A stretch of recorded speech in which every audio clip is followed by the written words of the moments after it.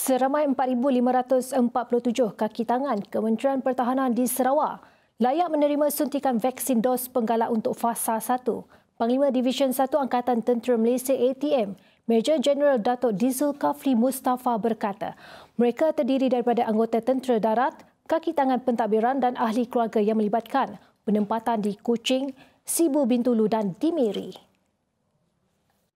Dos penggalak ini pada hari ini diberikan kepada anggota-anggota yang sedang berada di kem dahulu.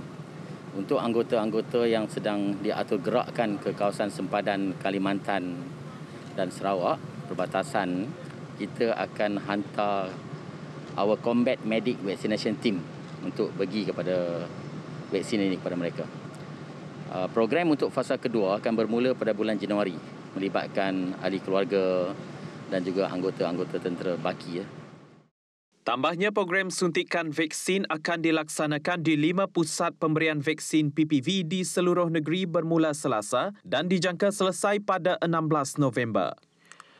Ujar Zulkafli, pecahan yang menerima vaksin penggalak melibatkan 1,149 penerima di Muara Tuang, manakala 299 orang penerima lagi di PPV Camp Pakit Sri Aman.